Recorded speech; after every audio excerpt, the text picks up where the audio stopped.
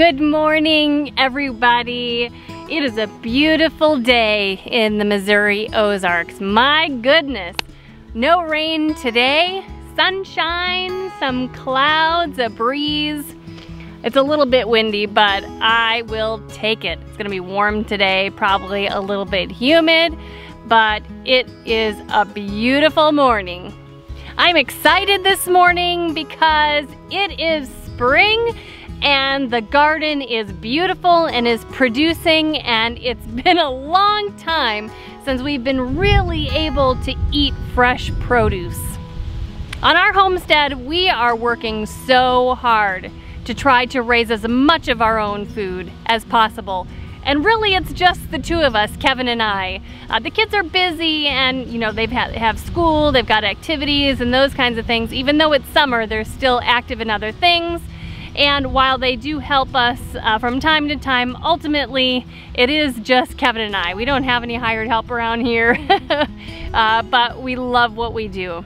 Anyway, my point is we are excited that spring is here and that the harvest is starting to come in for spring vegetables, leafy greens, and those kinds of things because we are really trying hard to eat more traditionally.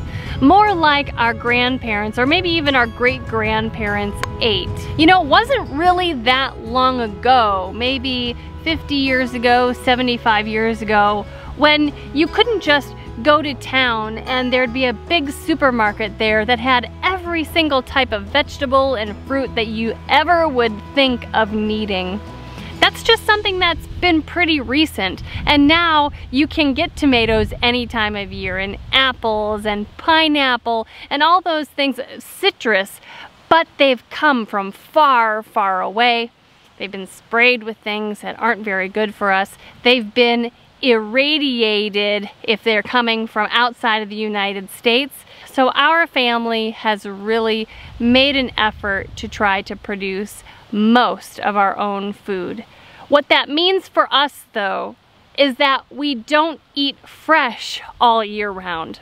We work our buns off in the spring and in the summer to preserve a lot of our food so that we can eat our homegrown food still in the winter but by the time it's early spring, we are just desperate for fresh food. So this garden behind me is just filled with fresh food. And so we're excited to get all these amazing nutrients from the garden into our bodies.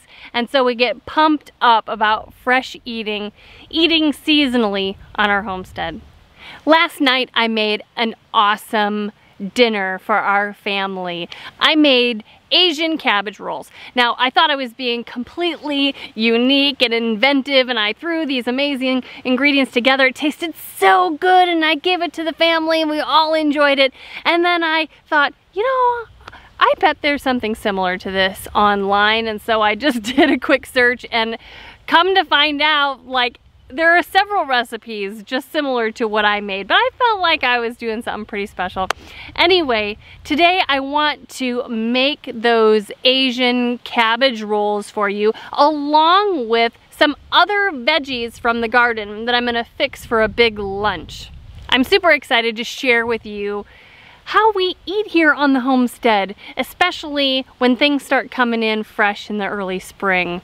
So let's get harvesting so we can go right from the garden harvest to the house and have it for lunch. We definitely need some green onions for our lunch today. When Kevin and I planted these onions here, we planted them really close together. They're actually just the little onion bulbs that you get from the store. And our intention has been to harvest every other one as a green onion and that will allow extra space later on for the ones that are remaining to get a bulb.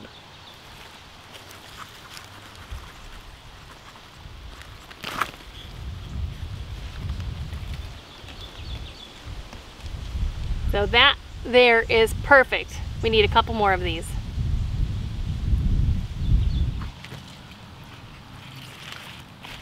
Our turnips are almost all ready to harvest. There are some really nice sized ones. So I'm gonna pick quite a few of them for our lunch. Aren't these beautiful? We are so pleased with the way these turnips have turned out this spring.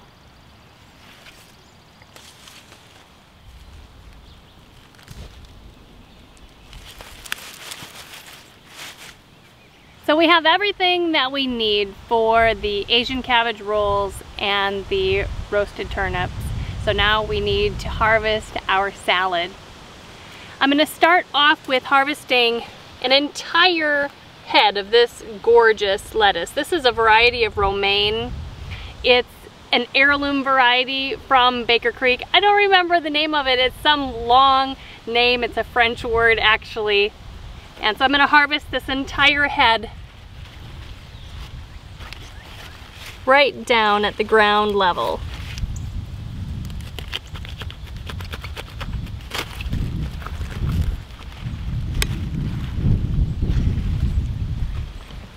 Isn't that beautiful?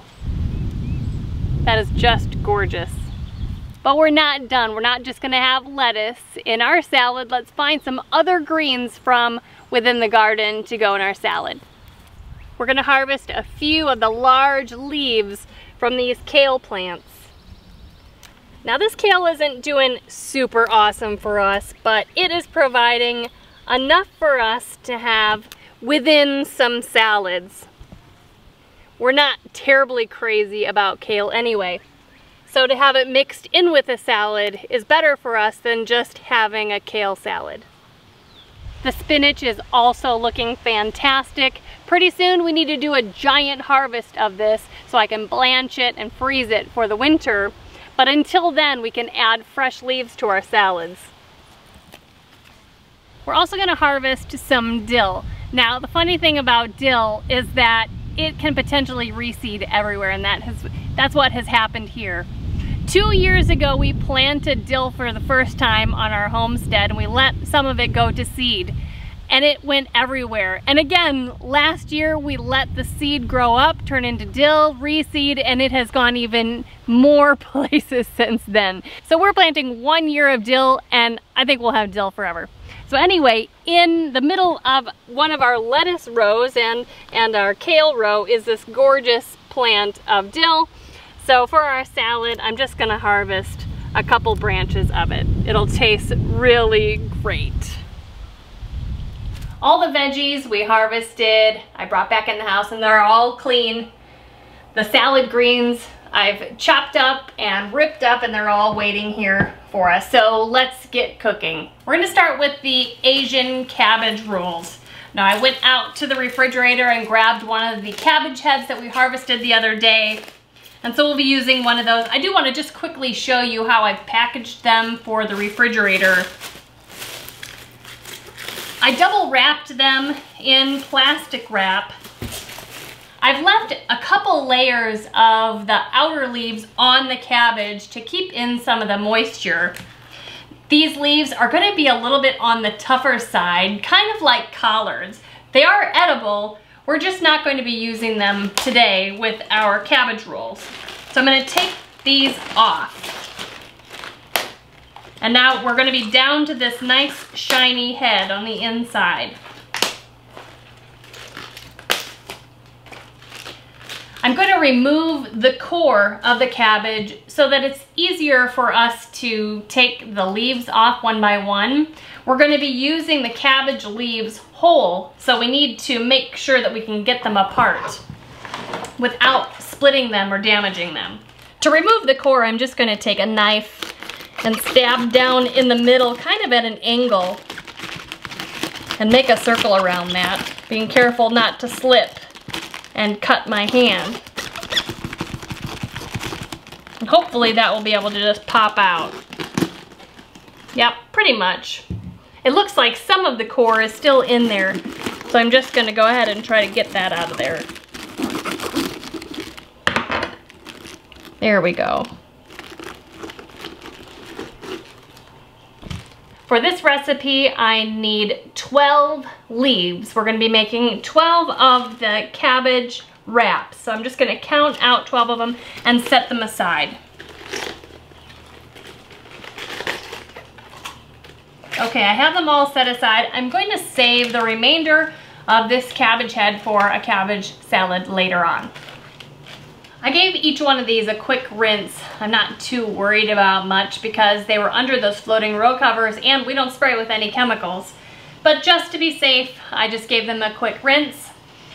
These cabbage leaves are just too rigid to be using to fold up a filling inside, so we need to soften them a little bit in some boiling water.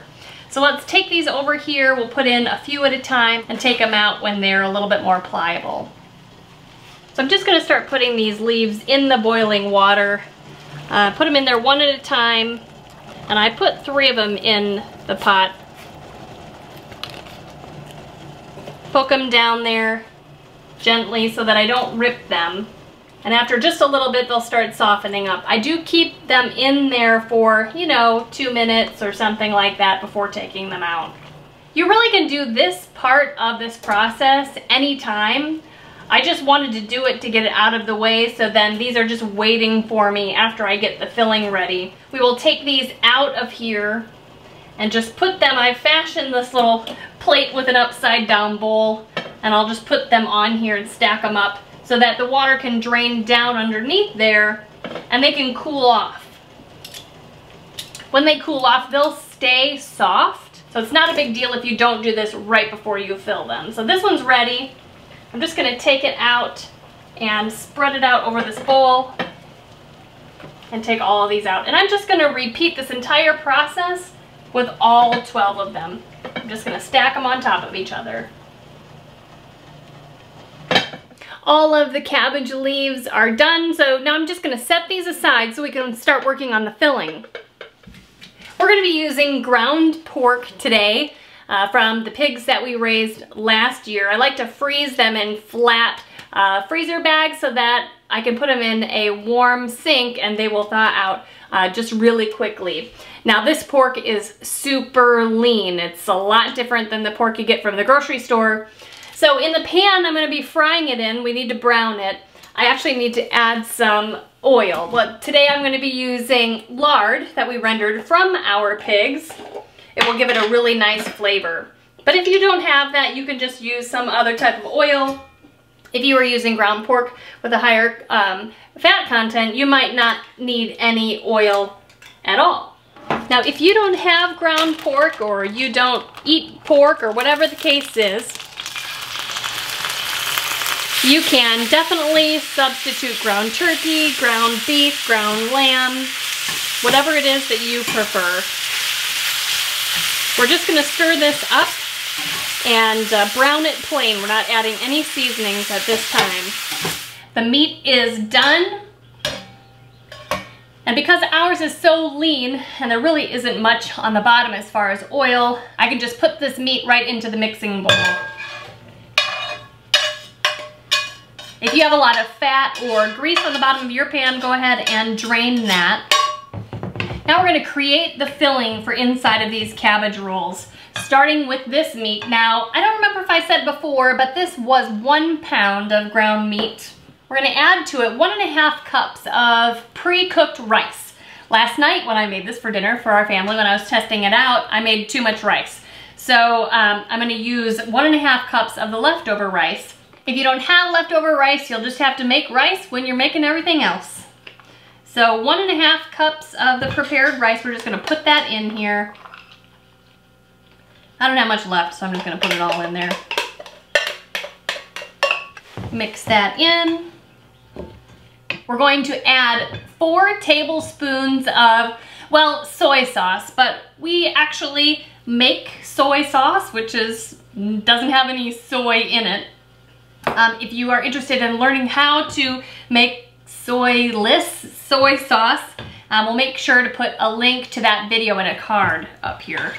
So four tablespoons of soy sauce and one tablespoon of sesame oil.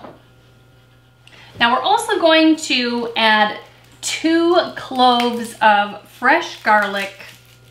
Now just a couple of weeks ago, one of our subscribers sent me the most fantastic gift. I have never used well, she sent me these two things. This little rubber-like contraption, you can put a clove of garlic in. Does everybody else in the whole world know about this except me? you put it in this little rubber contraption and you roll it on the counter and it takes the peel off. Look at that, the peel is like off. I've never used one and I hadn't heard of it before this and it works awesome. And also, she sent me a garlic press.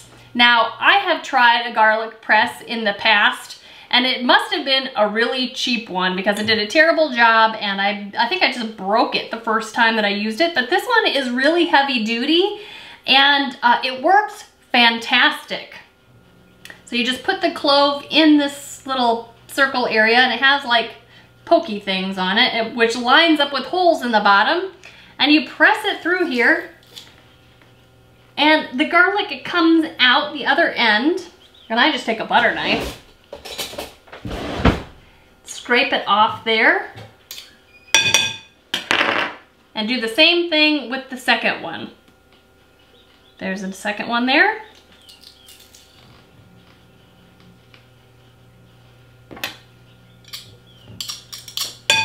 That'll give it a really nice flavor. So we have those three ingredients added in, mix that up so that the soy sauce and the sesame oil can start combining with the meat as well as being soaked up a little bit by that rice. I'm not gonna be adding any salt to this. Soy sauce, and actually our soyless soy sauce, has quite a bit of salt in it already, and so I don't wanna overpower the dish with any salt. So you go ahead and taste it at this point and see if you need to add any more salt. That's almost done. We need to add one more ingredient and then the filling will be all done. We are gonna chop up one of our green onions from the garden and add it to the filling. Taking off that little root end. And the white part here, I'm going to chop into, you know, the little circle things till we get up to the uh, leaf portion. But because we are going to be filling these in the cabbage leaves, the white part of the green onions is just a little too big. So I'm gonna kind of mince that into smaller pieces so that it will be smaller when we're filling the cabbage leaves. Put that right in the filling. And then I'm also going to chop up most, if not all, of these onion leaves.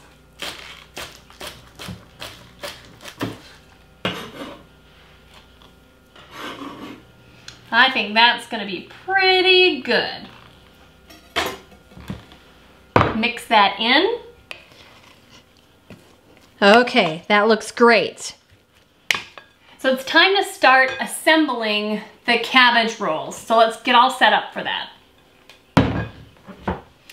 We need a baking pan and some oil. I'm gonna use some sunflower oil on the pan and I'm gonna spread it around just with a brush. I'm also gonna preheat the oven right now to 425. We're actually gonna be able to bake these cabbage rolls and roast the turnips at the same time. And this is actually gonna come together pretty quickly now. Okay, let's start assembling these. So I'm going to take one of these cabbage leaves and open it up like that and I'm gonna switch to a smaller manageable spoon. I'm gonna put two nice sized spoonfuls of this filling in kind of the center of the cabbage leaf, but a little bit oblong, I guess. Kind of like we're making a little burrito. And we're gonna fold this over one time here, and then fold in the sides a little bit, and then just fold it over, okay? And leave it just like that. Try that again over here.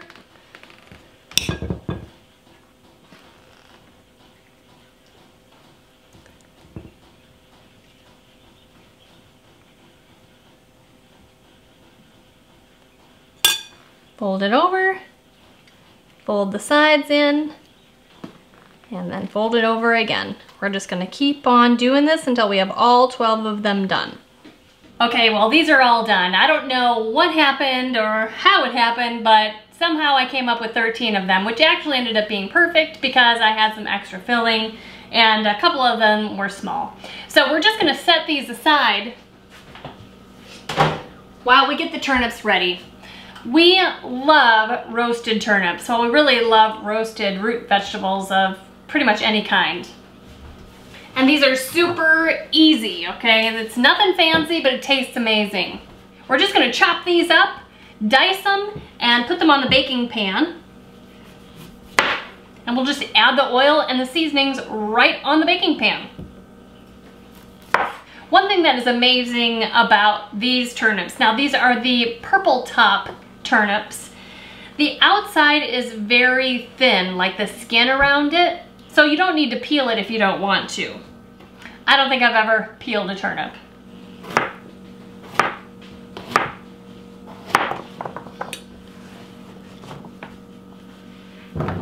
Okay, they're all chopped up. I'm just gonna drizzle some oil on top. I'm using sunflower oil. We really have been liking sunflower oil versus vegetable oils, which are generally a GMO oil. Uh, we aren't really liking olive oil. The taste of it is too strong regardless of what we um, have found. So the sunflower oil has been a good um, replacement for us, a good alternative. So I'm just gonna drizzle that with oil and then we'll mix that up. I would say I used a couple tablespoons. And I'm also going to use a nice pinch of salt. We use pink Himalayan salt. We really like it because it still has a lot of the minerals in it. It's not refined like table salt. And actually the sodium content is lower in a sea salt or the pink Himalayan salt than a table salt.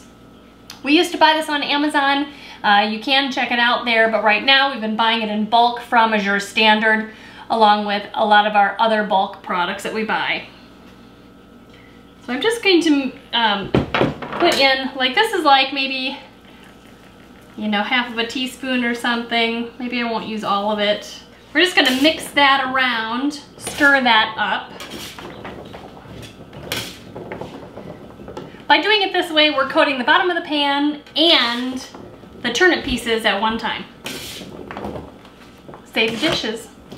Okay, we're gonna spread these out evenly and so we're gonna put both this pan and the pan of cabbage rolls in the oven at the same time. I'm gonna bake them at 425 for about 15 minutes, and then I'm gonna switch the pans, put one, the one on top on the bottom and the one on the bottom on top.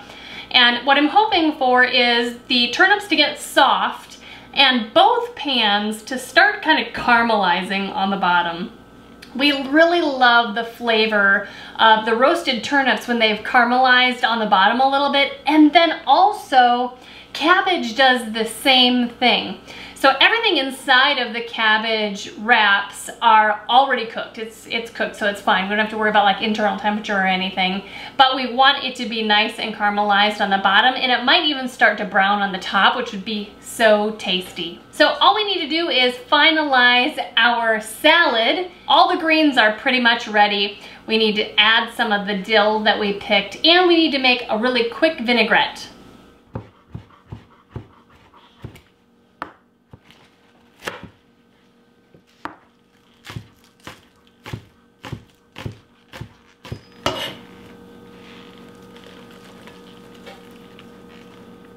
Okay, the greens are done. Let's make a quick vinaigrette. Now I'm just gonna wing it because I make this all the time, but I'll kind of give you the ratios anyway of what I'm using. So I'm gonna start out with sunflower oil again. You can use olive oil, we just don't have any.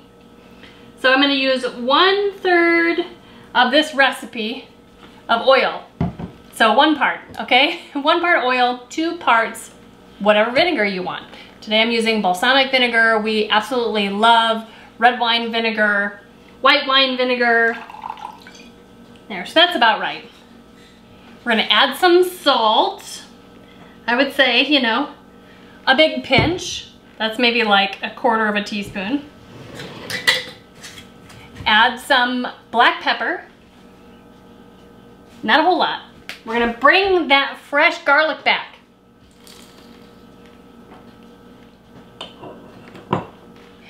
Now in our vinaigrette, to sweeten it up a little bit, I prefer honey, but we're out of honey. So today I'm gonna use a little bit of sugar just to sweeten it up a little bit. And we're gonna shake it up. Now this vinaigrette recipe is so versatile. A lot of times I'll put uh, dried herbs inside here like oregano or thyme.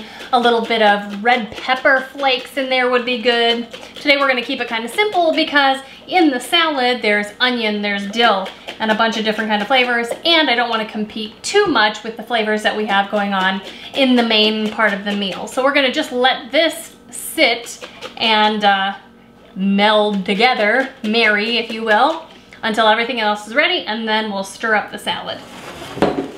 In the meantime, let's get ready for dinner. Originally, I wanted to make this for lunch, but time got away from me and now we're gonna have it for dinner. The turnips are done. The cabbage rolls are done. The turnips took about 40 minutes total and the cabbage rolls about 25 or 30 minutes. All we need to do is add the vinaigrette to our salad, toss that a little bit, and then we can plate our dinner.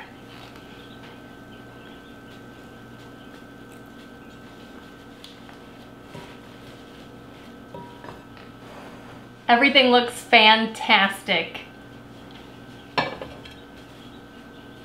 Let's start off with our cabbage rolls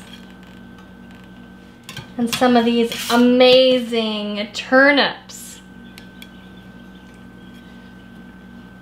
They look so nice and browned.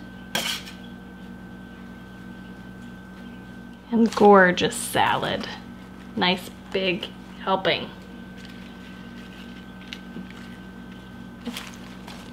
Those pieces look a little big. Oh well, it's too late to cut them up now.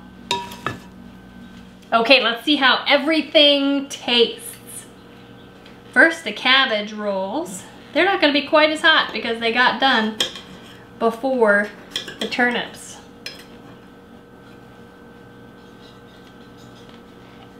Mmm.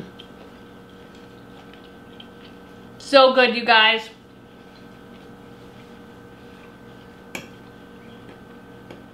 And the turnips, was so soft. They almost turn kind of caramelized and they're much more sweet. Definitely not pungent like when they're raw. And this salad, I have been smelling the dill since I started making dinner. Mmm. That vinaigrette is amazing. And even though I don't have honey, it's still a really nice amount of sweetness to balance out the sourness and tartness of that vinegar. It's so good. You know, there really is no comparison to grocery store food and homegrown, home-raised food. The flavors are all just completely different. So are the textures. This lettuce is so mild and so are the greens that should be a little bit on the bitter side. It's so early in the spring that everything tastes so good. You guys, I hope that our lifestyle, our garden, our cooking, I hope it encourages you to maybe take a little bit of a step toward being a little more self-sufficient and growing and raising some of your own food. So I hope we are an encouragement to you guys. Thank you so much for spending some time with me today, harvesting from the garden and then turning that into an awesome meal for our family. If you are enjoying our channel, we would love for you to subscribe. And if you would share this with someone else who you think would enjoy it, we would appreciate it so much. Until next time, you guys, thank you so much for stopping by the homestead. Take care and God bless.